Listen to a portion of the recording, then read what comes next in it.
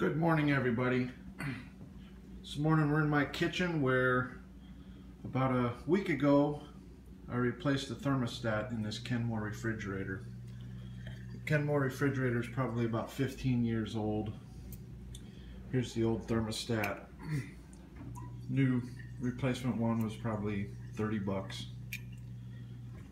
So first thing I notice, put the new one in and set it to the same midway position that I've always set this one to. Come back the next morning and all my produce is frozen. Refrigerator was way too cold. So I started doing some research and found out that there's a way to um, adjust these thermostats. Uh, some people call it calibrate.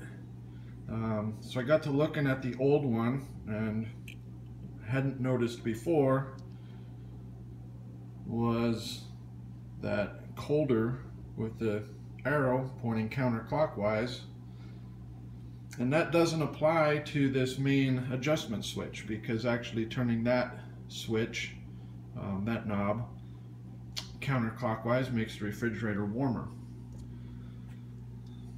What it actually applies to is this small little screw that's set back inside the switch housing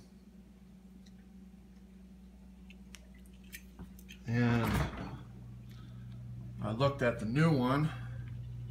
It's hard to see in there but noticed it had the same thing. And I had totally missed it before.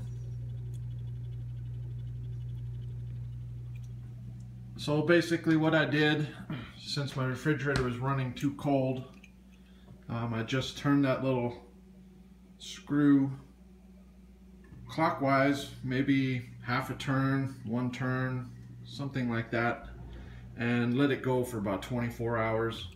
I put a uh, just a cheap meat thermometer in the refrigerator and uh, monitored the temperature.